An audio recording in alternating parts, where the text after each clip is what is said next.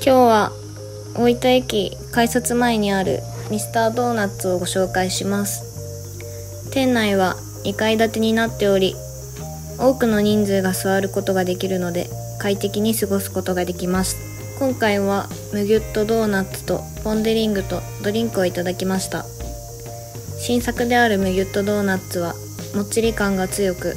生地と生地の密着度がとても高いと感じました。またミスタードーナツはドーナツだけでなく麺類なども扱っており